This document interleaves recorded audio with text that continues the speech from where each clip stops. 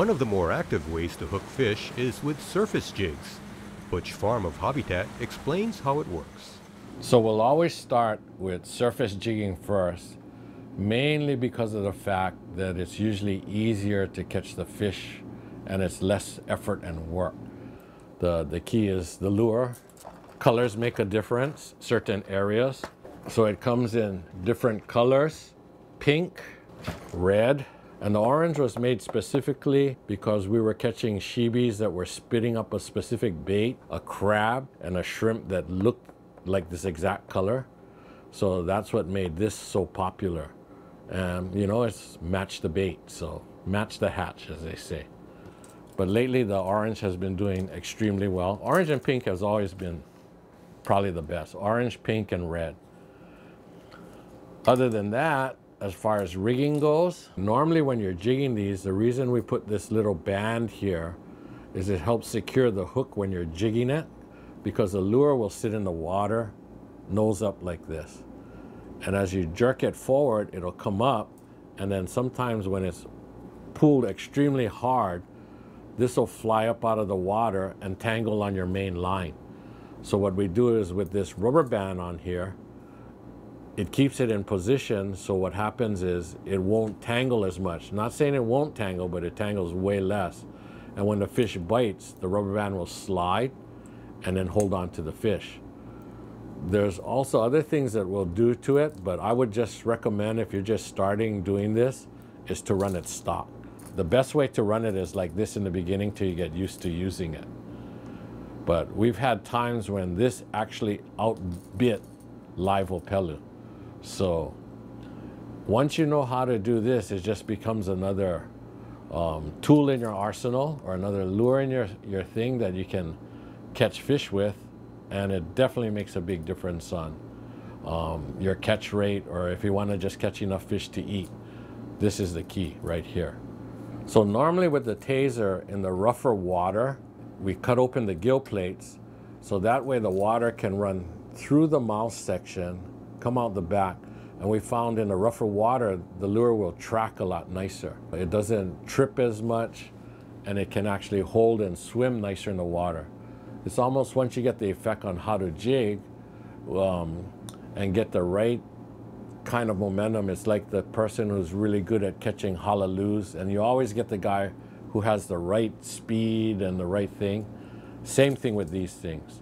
You, if you get the hang of it, you'll know how much to jig it as far as too much, too little, when to, and not to. The lure will actually sit in the water. When you pull it up, it'll come up, and you jerk it, it'll go have a side-to-side -side motion. Kind of like the walk the dog effect, but it'll splash at the same time. Normally, most people, if they have a miss, they'll try to jerk it away or they try to set the hook on a fish. If you really watch the fish from the bridge and stuff, you can actually see the fish circle the lure and come back. So you actually want to open a bail, let it free spool, count to three, and then close the bail, and then set it. By that time, the fish is usually on already. So um, it's just technique, and people will use different techniques for, you know, whatever fits and works best for them. The most important thing with the taser, depending on the water, is whether or not you cut the gill plates open. There's a, usually a small piece of plastic in here because the lure was originally patented not to, for this open gill plate section. All you have to do is you take an X-Acto knife and then you can clean this section out because in the lure, how it's built, there's another bulkhead in here and causes this to track nicer in the rougher water. And that's the reason for cutting out the gill plates. And then you can see how the water goes through the mouth section. We'll always run like one orange, one red, one pink, or a combination of different things. And if somebody catches two or three fish on that particular color, then we'll swap over to that color. Um, and it's proven in the past, even though fish are theoretically colorblind, that it does make a difference. Nine times out of 10, we'll use fluorocarbon. We'll start off with as big as we can, anywhere from 130 pound tests. If it's not biting very well, we'll go to smaller line. That's typical in most fishing. Normally we'll run minimum three spans. We tie on the fluorocarbon to the lure and you can crimp. If you're not good at tying, I always tell my guys, even though it's not the greatest knot that you may know, and it might not be the strongest knot, but you can tie it the best. It's always better to tie a junk knot good than a good knot junk. Simple improved clinch will work fine. If you want to change the lure, we just cut the knot and then just tie on another lure. That's why going to three spans is kind of important to us so you don't waste fluorocarbon leader because leader is expensive.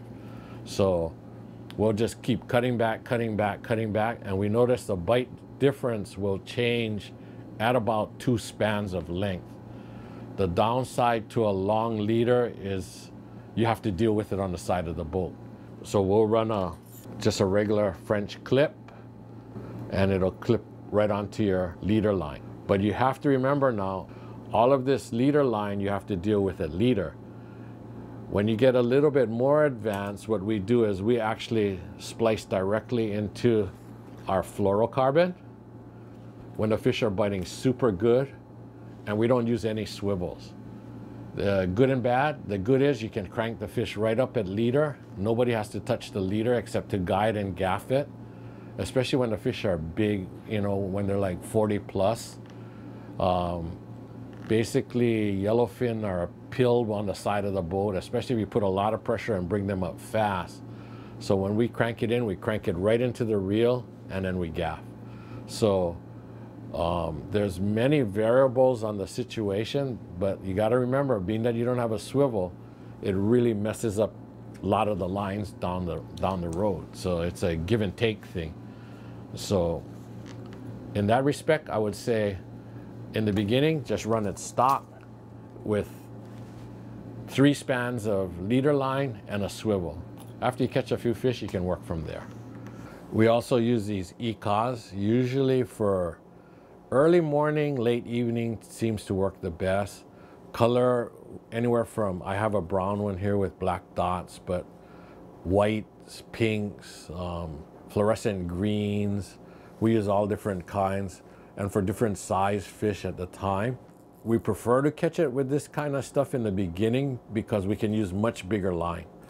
And we also use these um, eyeglass straps, I guess, is a common thing for surface jigging. Early morning, and you do it, you can do it right off your rod, or with this, you can do it off a bigger rod, like a 130 or an 80. And like I said, you know, if they're biting it, it's just another thing to have in your arsenal to jig on the surface.